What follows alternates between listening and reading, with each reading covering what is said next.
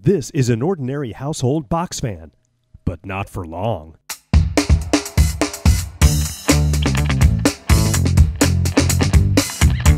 To make the amazing neon glow fan, you're going to need a five blade fan.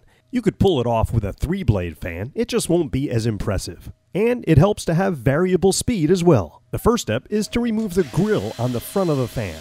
Mine had a half a dozen small screws that came out real easy. Now that the blades are exposed, it's time to transform them. I'm using five different colors of neon and glow acrylic paint. These cost about a buck a piece. And any small paintbrush will work. It's also a good idea to grab some sandpaper. I'm using 150 grit for this. Then scuff up those plastic blades. This will help the paint adhere to the plastic. Now it's time to apply the paint. Now you'll probably need to do a couple of coats to get full coverage. Let each coat dry in between. When all the blades are thoroughly dry, it's time to take her for a spin. But first, I'm going to plug the fan into a variable dimmer switch so I can control the rotation of the blades. And as you can see, for the full effect, I left the grill off because these are plastic blades and they're actually pretty harmless. And now our secret ingredient, an ordinary fluorescent blacklight.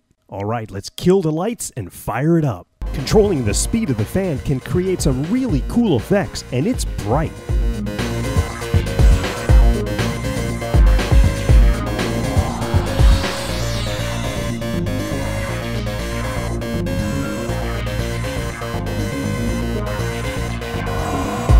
I decided to try something else, so I printed out a small image of a spiral, then attached that to the center of the blades. Now we have a double crazy effect.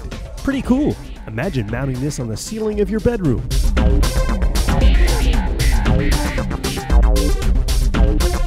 And if you decide to be extra safe and mount the grill on the front of the fan, you still get a pretty mesmerizing effect. And that's how to make the amazing Neon Glow Fan. I love making videos for you, and my friends at Audible.com help make that possible. In fact, Kipkay fans can get a free download right now so you can try it out. Audible.com has over 150,000 audiobooks that you can listen to on your phone, iPod, e reader, tablet, or even your computer. There's nothing like Audible.com.